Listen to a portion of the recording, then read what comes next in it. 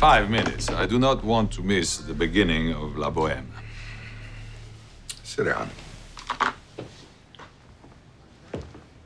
Four minutes.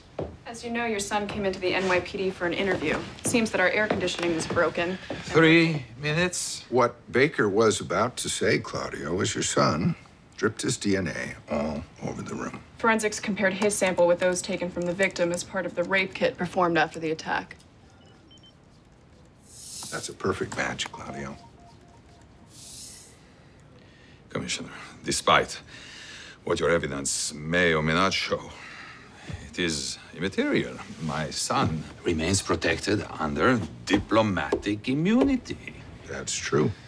He is protected. Here.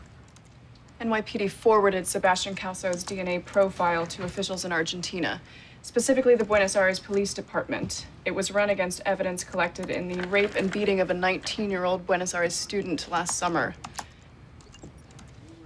I'm afraid that, too, is a match. Good God. Our State Department will give your son 24 hours to return to Argentina, where he will be tried for that crime, and he will be convicted and sent to Mendoza. Mendoza prison is your country's most notorious. I know. ruthless- I know of Mendoza. Of course, you could decide to waive your son's immunity, allow NYPD detectives to take him into custody, and risk a fair trial here. He's my son, Commissioner. And the girl he raped is another man's daughter. Oh, time's up. On your way to the opera, call your son and explain it to him. Step back, step aside. Hold on, hold, hold, hold, hold on, hold on. Something's not quite right.